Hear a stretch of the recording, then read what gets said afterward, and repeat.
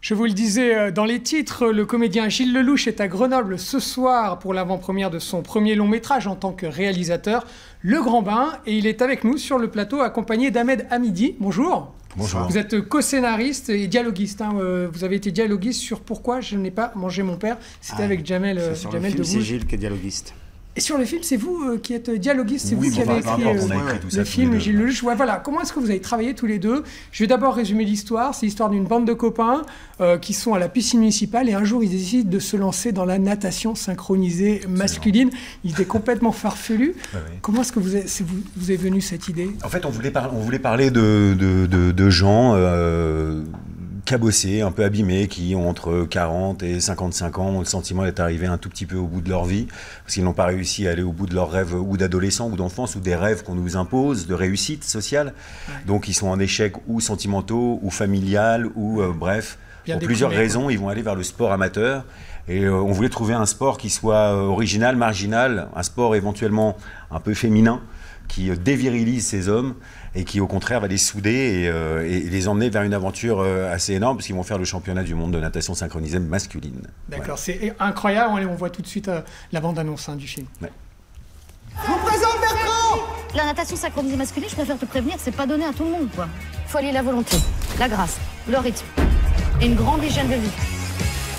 Tu t'en sens capable de ça? 5, 6, 7, 8. championnat du monde. Qui est pour? Bon les gros là, comptez la faire sur quelle musique votre chorégraphie Que de la merde dans la tête en fait. hein. Allez on s'arrête pas Tu es une grosse connasse.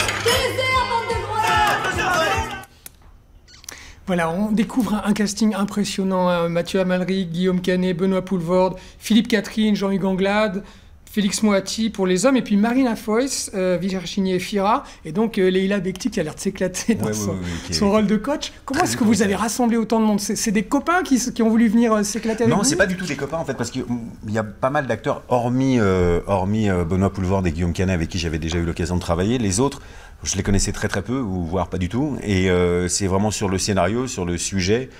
Euh, et aussi, je crois, parce que parce que a essayé de, de briser un peu les chapelles, les familles, et euh, voilà que Alban Ivanov, qui par exemple était au Jamel Comedy Club, puisse rencontrer l'acteur de 37 2 le matin.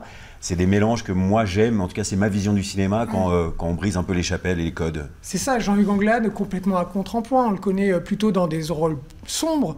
Ouais. Là, là c'est une comédie. euh, Ouais. Il se retrouve en maillot Ouais, à, ouais. à faire de la compétition. C'est fou. euh, Ça vous a plu Ça aussi, ça vous a emballé, Et en fait, oui, parce que c'est justement pour ça, c'est qu'on euh, on n'a pas écrit pour des, on n'a pas écrit pour les acteurs, on a écrit pour les personnages. Donc, on a d'abord vécu nous avec ces personnages pendant très longtemps, et Gilles est allé avec ces personnages-là le présenter à des acteurs. Et comme ils sont tous très bons comédiens, ils ont, ils ont pu rentrer dans le, dans, dans chaque rôle, je pense, avec brio. Enfin, ils sont tous euh, assez Ils ont pris- époustouflants. Ils ont pris beaucoup de plaisir à le faire, non seulement d'être en maillot de bain. Vous savez, quand vous êtes en maillot de bain, ça brise, ça brise Ouais, un peu les codes, quoi. Ouais, donc ouais, euh, ça enlève un peu pas mal d'ego, quoi. On est, voilà. Ouais, on rigole. Et vous, il y avait peut-être une jubilation. On va filmer ces, ces- ces grands hommes du cinéma actuels sûr, aujourd'hui, les filmer comme ça dans le plus simple appareil et puis partir en délire. Bien sûr, bien sûr, de, de, de, de, filmer ces grands hommes et aussi ces grandes femmes, parce que j'ai la chance d'être avec des grandes actrices qui ont des grands personnages féminins. Ce n'est pas un film d'hommes, vraiment, un au contraire, c'est un film, euh, euh, j'ai l'impression, de réconciliation entre les hommes et les femmes dans une époque un tout petit peu particulière dans laquelle on vit. Donc euh, c'était, euh, oui, c'était pour moi un, un immense plaisir et une- un grand honneur d'avoir tous ces gens avec moi, bien sûr. Alors, vous avez tourné une scène à Champs-sur-Drac, ici, c'est pas loin de Grenoble, et c'était pour une soirée bingo. C'est quoi une soirée bingo. En fait, c'est une après-midi. euh, C'est euh, le personnage de Jean-Hugues Anglade justement joue un, vieux rocker qui, euh, qui participe de gala en gala et qui fait des espèces de voilà de mini concerts, mais personne ne sait vraiment qui c'est. Il anime comme ça des, euh, des, des bingos, des lotos, des, des, des foires, euh, des brocantes. Voilà. C'est-à-dire qu'il fait de la musique en amateur et de la natation en amateur. C'est ça. C'est un peu Bon, ça. rapidement, euh, le film est en avant-première ce soir. Vous rencontrez le public à Échirol Avec joie, ouais. dans, dans- dans une demi-heure, donc euh, bah, je vais vous libérer. Merci beaucoup. Merci à vous. Sortie du Merci. film le 24 octobre Merci prochain. de nous avoir reçus. Merci. Longue vie au, au Grand Bain. Alors merci, Merci. à tous les